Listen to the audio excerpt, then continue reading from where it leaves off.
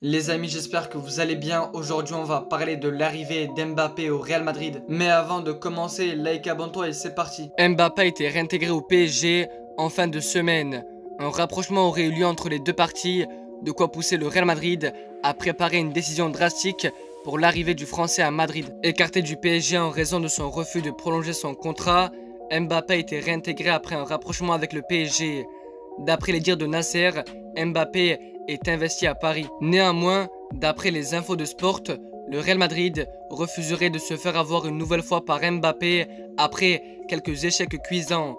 En cas de prolongation du français au PSG, le club merengue se retirait définitivement du dossier Mbappé à Madrid, ce qui serait une belle erreur selon Gucci. Je ne suis pas fatigué par l'affaire menant Mbappé à Madrid.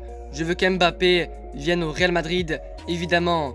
Pour ce mercato, il a dit qu'il resterait à Paris, donc le Real est resté tranquille. Je n'ai pas vu le Real ennuyé par ce qui se passe. S'il prolonge au PSG, oui mais comment?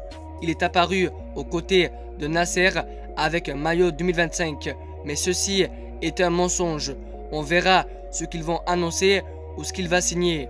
Le Real Madrid ne peut pas se permettre le luxe de fermer les portes à un joueur comme Mbappé, a confié Gucci, ancien joueur du Real. Mbappé aurait annoncé à ses proches qu'il aurait prévu de quitter le PSG pour signer au Real Madrid dans un an.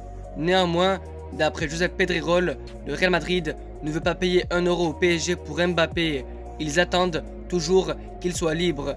Ils espèrent que l'accord avec le PSG sera de renoncer à la prime.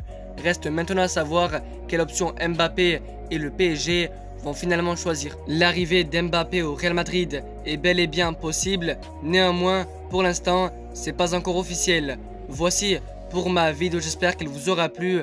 N'oubliez pas de liker et de vous abonner, et ciao